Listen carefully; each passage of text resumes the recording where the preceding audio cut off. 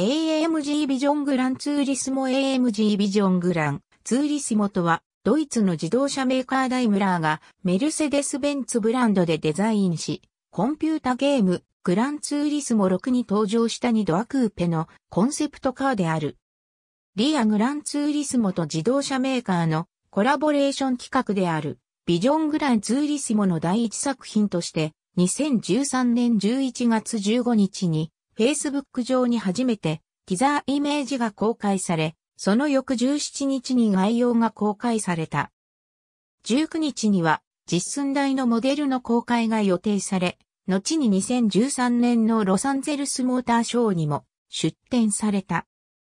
また、2014年1月28日には、レーシングモデルとして、メルセデス・ベンツ AMG、ビジョングランツーリスモレーシングシリーズが登場している。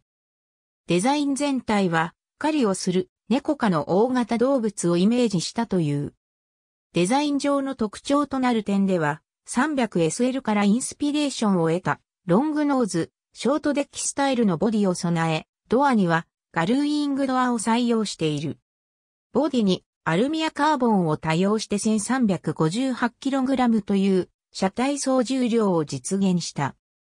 フロントグリルには LED が埋め込まれており、全体もしくは一部を発光させることができる。サイドミラーは CCD カメラ式を採用。リアウィングは可動式である。また搭載されるエンジンは AMG 製の 5.5LV 型8気筒ツインターボエンジンを搭載する。このユニットは 585PS81.6 kgm のトルクを発生させ、軽量なボディと組み合わせて、パワーウェイトレシオは 2.4kg、PS を実現している。駆動方式は FR。ミッションは7速、デュアルクラッチトランスミッション。サスペンションは前後ともダブルウィッシュボーン式。リアタイヤへのトラクションを調節するための電子、ディファレンシャルロック機構を備えている。マフラーは8本のテールパイプで構成され、リアブレーキランプに統合されている。エンジン音はデザインチームによって調律がなされており、公式メイキング映像などでその様子を確認できる。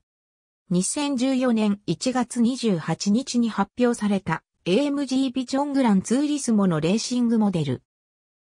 レースへの参戦を想定して、オリジナルバージョンの仕様を変更したモデルである。同モデルでは、オリジナルバージョンの可動式、リアウィングを固定式のものに変更し、CCD カメラ式のドアミラーをコンベンショナルなミラーへ変更した。またリアブレーキランプは、点灯時にグランツーリスモのロゴマークが見えるように変更された。エンジンは、チューニングによって600馬力までパワーアップされた。7速、デュアルクラッチトランスミッションは、ドグリンクを用いたシーケンシャルミッションへと換装され、伝達効率を高めている。ボディは 1300kg まで軽量化され、車高を下げて低重心化を図った。自動車、ヨット、ジェット機など米国で富裕層向けの商品を販売しているジェームズエディションが AMG ビジョングランツーリスモのレプリカモデルを5台限定で販売することを発表した。2014年型のメルセデス・ベンツ SLS-AMG GT をベースにカーボン製のボディパネルを仮装してクローム塗装を施し、単造ホイールや格納式のリアウィング、カスタムエキゾーストシステムなどを装備したモデルである。インテリアは顧客のオーダーに沿った仕様となる。価格は1台150万ドルで、発表段階ですでに1台は契約済みであった。残りの4台のうちの2台は米国で、2台は欧州ないしは中東で販売する予定とされていた。ジェームズエディションの該当サイトで関連ページが存在しないことから完売したとみられる。2017年に公開された映画主人公ブルース・ウェインが日常で使用する乗用車として登場し、今回の映画撮影のためにインテリアが新しく制作された。なお、ウェインを演じるベン・アフレックの体格に合わせて、劇中の AMG ビジョングランツーリスモは、車体がオリジナルより10%ほど拡大された。ありがとうございます。